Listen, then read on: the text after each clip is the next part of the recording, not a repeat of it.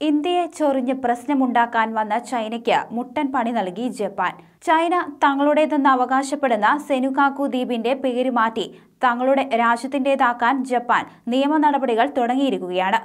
Galwan വാലിയിൽ China Indian പട്ടാളക്കാർക്ക് നേർക്ക് പ്രശ്നമുണ്ടാക്കിയതിന് പിന്നാലെയാണ് Japan ചൈനയ്ക്ക് തിരിച്ചടി നൽകിയിരിക്കുന്നത്.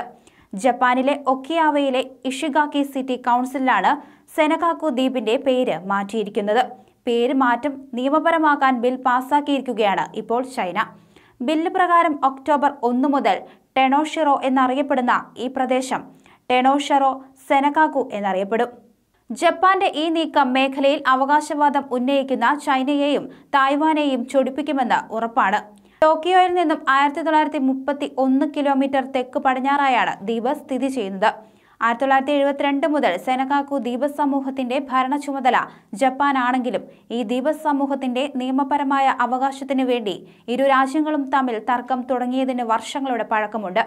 ഡയോ എന്ന് ചൈനക്കാർ വിളിക്കുന്ന സെനകാക്കു ദ്വീപിൽ പാരമ്പര്യമായി അവകാശമുള്ള സ്ഥലമാണ് ഇതെന്ന് ഉന്നയിച്ച ചൈന പേരുമാറ്റുന്നതിനെതിരെ ജപ്പാന് മുന്നറിയിപ്പ് നൽകി.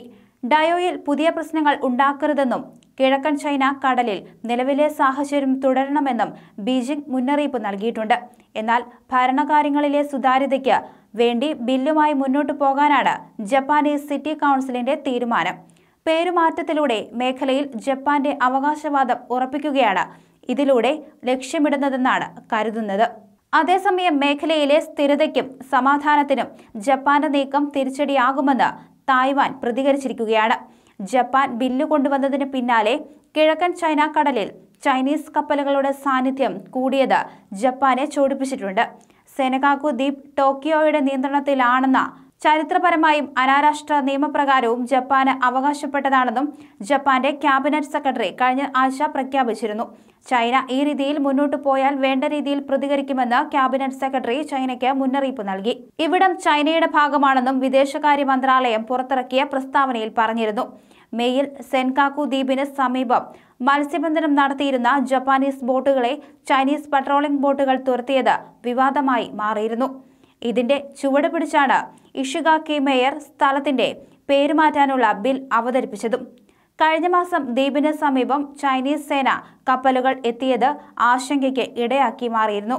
എഴുപത് ദിവസത്തോളമായി ചൈനീസ് കപ്പലുകൾ ഇവിടെ തുടരുകയാണെന്ന് ജപ്പാന്റെ ഔദ്യോഗിക തീരരക്ഷാസേന അറിയിച്ചിരുന്നു.